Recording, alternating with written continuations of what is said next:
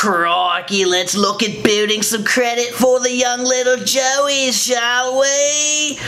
Just kidding, I'm not Australian, but rest in peace to the real one.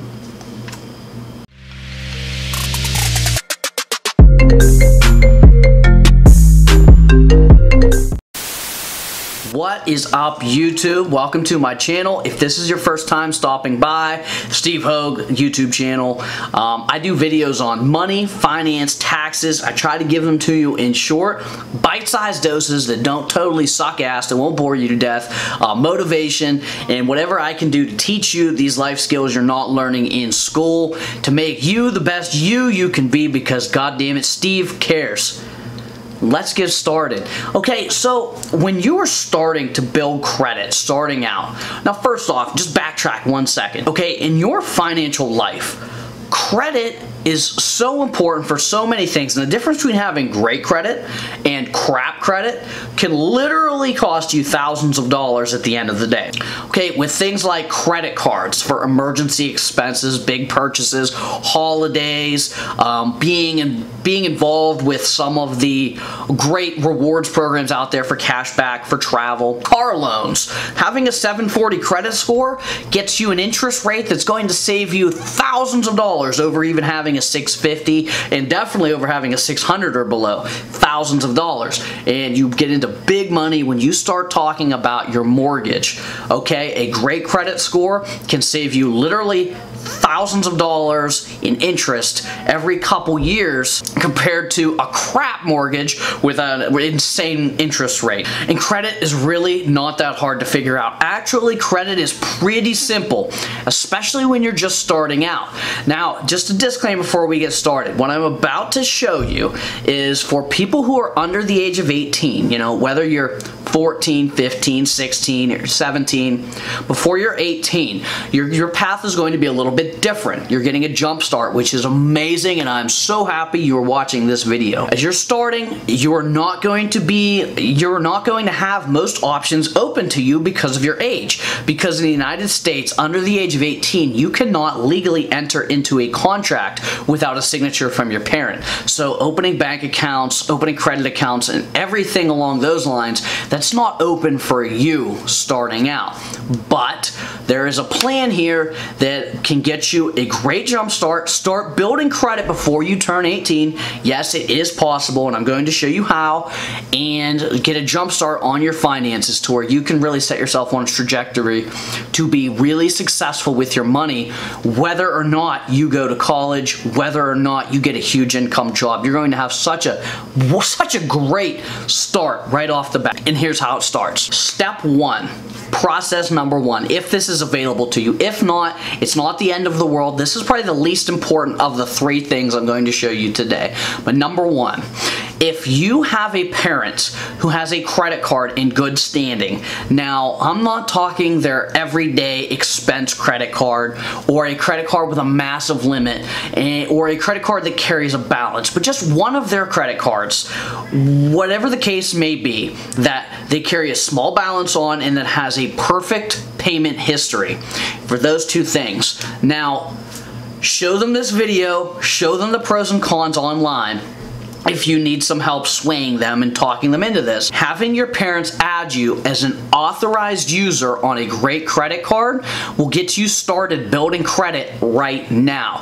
And with some banks, there's no minimum age. You can be a toddler and you could be added as an authorized user on a credit card and you are going to have a trade line reporting in good standing, hopefully, assuming you and your parent both handle the card responsibly from your earliest of days, okay? Now, what that means, whether you start when you're 2 or when you start when you're 17. By the time you become 18 years old and you are now old enough to open your own credit trade lines, you are going to have a massive jump start.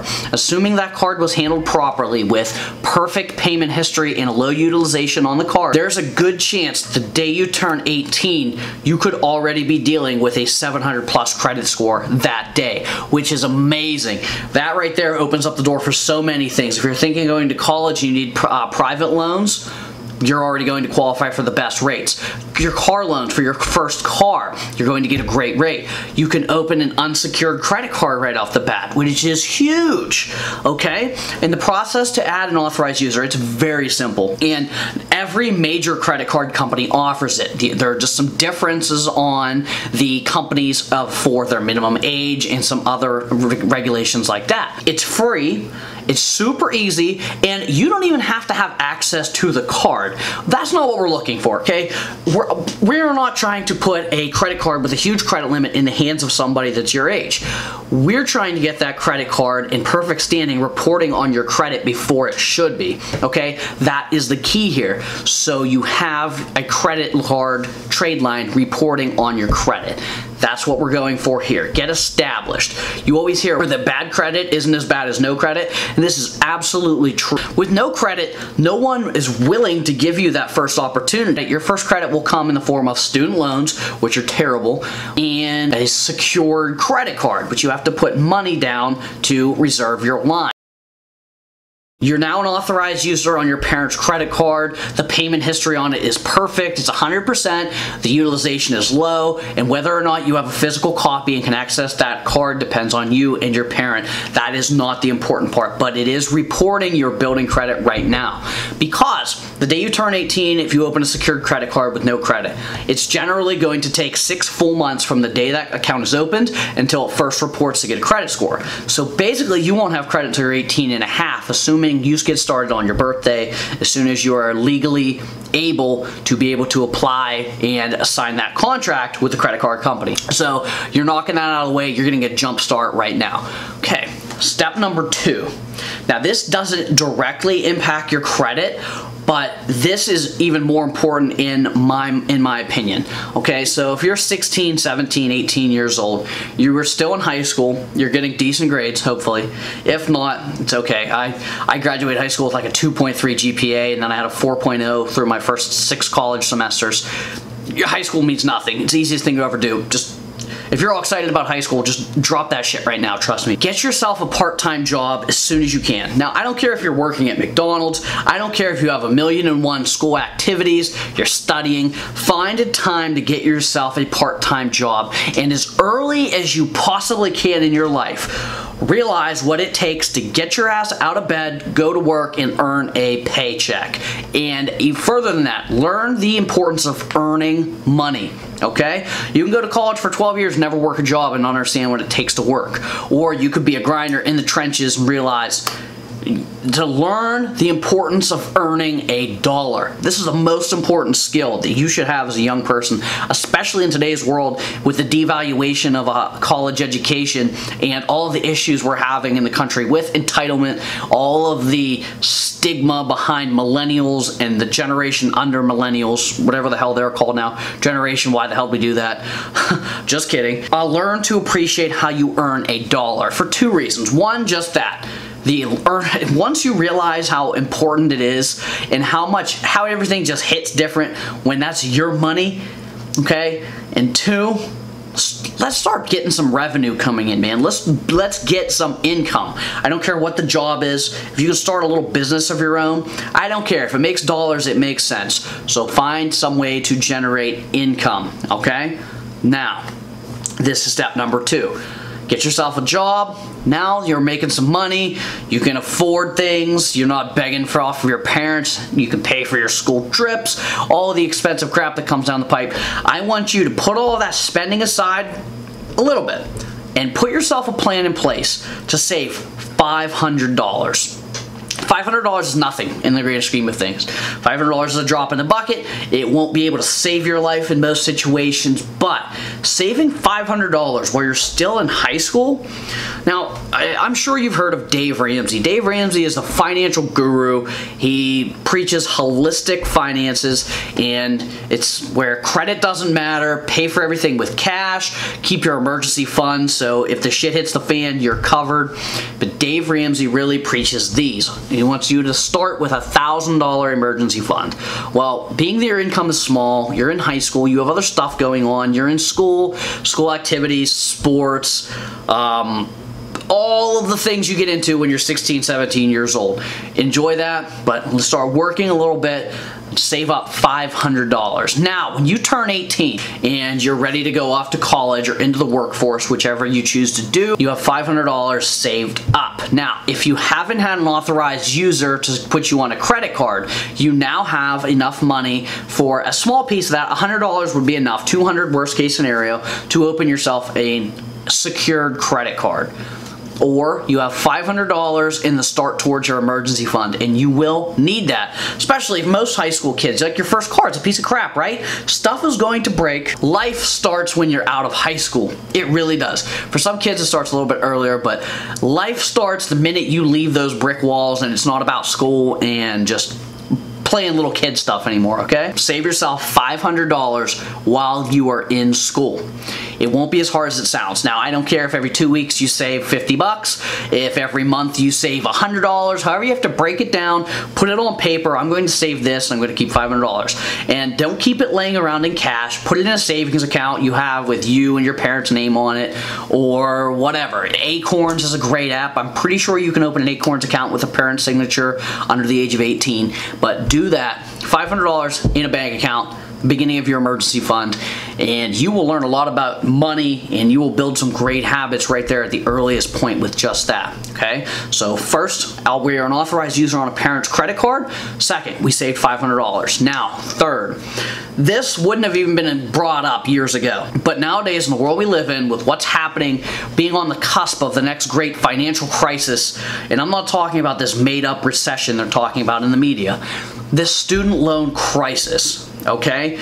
Now, I did a video up here about the Democratic politicians in 2020, their promises for um, giving you free college and expunging and just eliminating all of this student loan debt. Well, I'm to going to tell you that's a bunch of crap. It's not going to happen. And if it does, it's not going to be complete. And if they were to make college for free, that means you should really reconsider going to college because what is a college degree worth if everybody has one? But I want you for step number three, research and learn about student loans, okay? Now on my channel, that's one of the big things I focus on here. So if you're watching this, you're about to graduate high school, hit that subscribe button right now. I'm linking the student loans playlist up here. The videos will be peppered out throughout this with cards. Hit those, watch those. Watch those student loan videos. Understand what you are going to be starting up for. Now I'm absolutely not saying that you shouldn't go to college because for a lot of people, a college education education is a key, and a key you need to get to where you want to go. It's not the only way though, okay? And a lot of, right now, a lot of people are telling you you're never going to be shit without a college education. That is absolutely the furthest thing from the truth. Okay? So you probably know right now if college is for you or, or not. Only you know that. So research student loans. Learn about them because they are going to be what sets you back the most, or they can be the vehicle that takes you to your dreams of your college education. If you wanted to be a doctor, a lawyer, an engineer, whatever your dreams and aspirations are, student loans are a necessary evil. So research student loans. Start with the types, and then I want you to watch my video on student loan interest. Wrap your brain around that. This is a great financial literacy lesson. It should be one of the very first things we learn, and it sickens me that you don't have a class about this in high school right now. But you know, we'll work on changing the world a little bit every day. Right now, I'm starting with you, okay? So learn about student loans. Number three, I can't stress this enough. So many people, you go, you sign that paperwork, you go to college, you don't know what you're getting into, you don't know what those loans are. You click through the stupid little entrance counseling, I did, honest, I did, and you end up getting yourself into this massive massive debt decision you're just snapping your finger and agreeing to and you don't know anything about it. So step, take a step above the rest. Get on board with this, okay? So, little recap, guys. You're 17 years old, you're about to be 18, you're about to go out into the real world, to college, to your to the workforce, whatever. I want you to do these three things. One, become, if you can, an authorized user on your parents' credit card.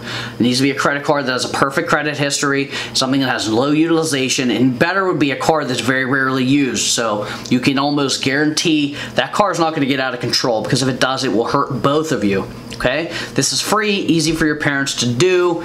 They don't even have to give you a physical card. You could have no access to it. All that matters is it's reporting for you. You're basically, you are piggybacking off of one of their good credit accounts, okay? Great. If you need help talking your parents into it, show them this video. Show them the pros and cons list online. There are a lot of good reasons too, and the cons, there aren't that many because they can all be controlled with some discipline or just basic parental controls, okay?